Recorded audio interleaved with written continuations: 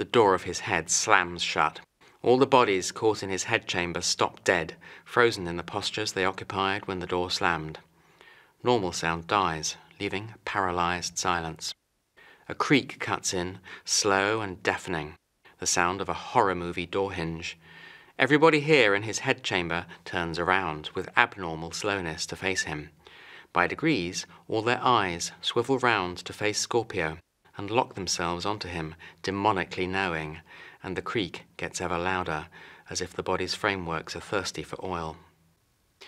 With a sense of sliding down into someone else's nightmare, he happens to incline his head at a particular angle, from which his surroundings appear the same as from other angles, except that a single freakish thing is visible, almost hidden among the rest.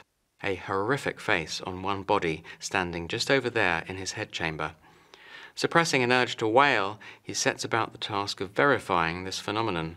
First, he returns his head to its former angle of inclination, whereupon the face resumes its earlier unexceptional appearance. And then he reproduces the angle of his head's inclination to what it was a few moments ago when he glimpsed, and yes, sure enough, the face on that body over there in his head chamber is once again quite horrific. He jerks his own head's angle away from this again, so as to conceal that face forever, he fervently hopes, and squints and flicks his eyes back at the face for a split second, of course, just to check, and mercifully it's normal again, but for how long? He swallows.